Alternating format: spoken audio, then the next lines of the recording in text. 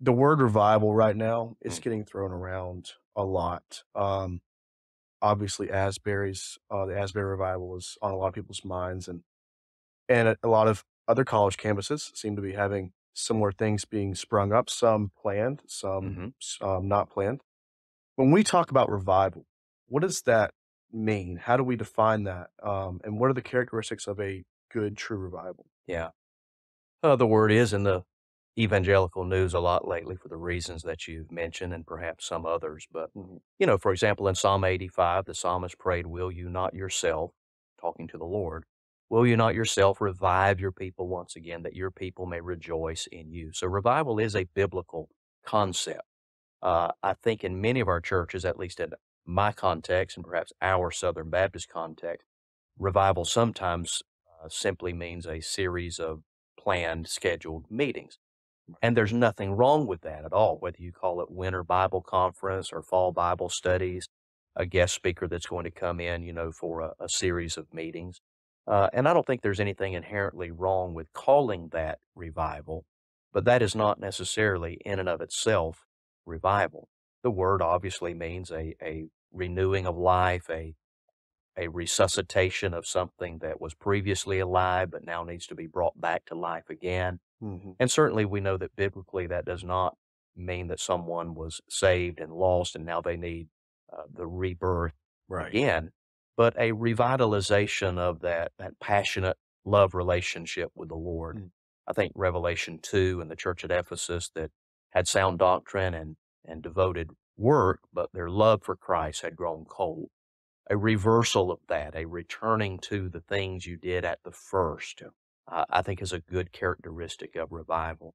I'll tell you a quick story, though, as far as what I think some of the characteristics of revival are. When I first started preaching revivals, which was pretty much early in my pastorate, so now 20 years of uh, preaching revivals and conferences, my wife would ask me when I would call her on the way home, you know, how did it go to? And uh, early on, I was foolish enough and naive enough to try to answer. You know, I would say, "Oh, it went great tonight." You know, the words flowed, the illustrations were seemed fresh, and God moved, and there were this many decisions. Um, and I don't think it's ever wrong to assess a service in that way. Uh, there were other times I would tell her it was awful. Thoughts didn't flow well. There was no response. The crowd seemed dead. Those sorts of things. Yeah. And uh, and again, uh, those can be pretty obvious assessments at times. Mm. But the longer that I pastor and the more that I have experienced, she and I have a little routine now where she'll ask, How did it go? And I will say, I don't know. there is a sense in which the true fruit of revival can't be measured at the end of the service. You can assess that it was a good service, an enjoyable service, that God spoke to your heart through the preaching of the word. There may have been exuberance in the worship through song. But as far as whether it was a biblical sense of revival, that true returning to the works you did at the first, Revelation 2, um, I think it takes some time to really measure that. Now, um, the revivals that I preach tend to be in the spring and fall. Those are general calendar times churches uh, have revival. Right. I now try to remind the congregation each time that if it's a spring revival, the best way for me to determine if we really had anything approaching revival would be to call the pastor six months later in the fall Hmm. and ask some diagnostic questions. Um, do you have more Sunday school workers willing to serve? Yeah. Do you have more people on mission that are sharing their faith?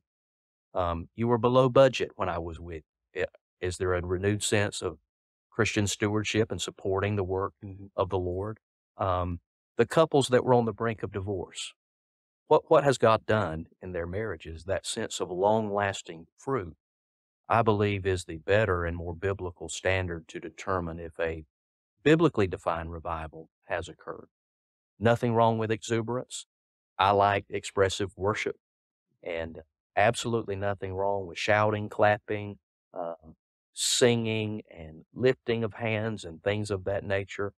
But a lot of those things could happen even at a secular rock concert or a country concert. So, I think revival can have those things accompanying, mhm. but those things in and of themselves are not revival and are not even necessarily indicative that it is a revival. I think the longer lasting fruit uh, is the best standard to, to measure if God has really done that revitalizing work.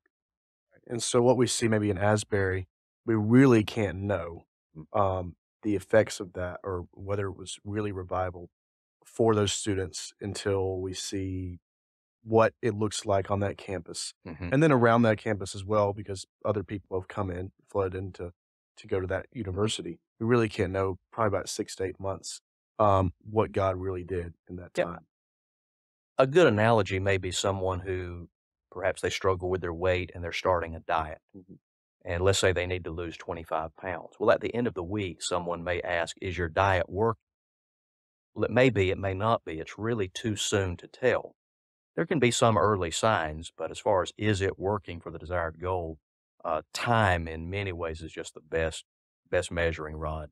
yeah one thing I, I found interesting that you said was when talking about the product of revival, uh, really talking about the church members. Um, I think one t- one thing we see with with revivals is we talk about how many people got saved. First of all, praise God for Yeah. that. Amen. Um, that is awesome. It seems though that the point, really, the purpose of revival is to take the congregation, the people that are members, people that that are following Christ, that have had that kind of their relationship go down, fall Mhm, down, and, and, and, and they need to be brought back up again. Would you say that is correct? Really, the focus is more on the saved congregation? Yeah, in the truest biblical sense of the word, it has often been said you can't be revived until you've first been vived. Mm. And um, there's certainly nothing wrong and much right, perhaps, in a series of revival meetings to have an intentional evangelistic focus.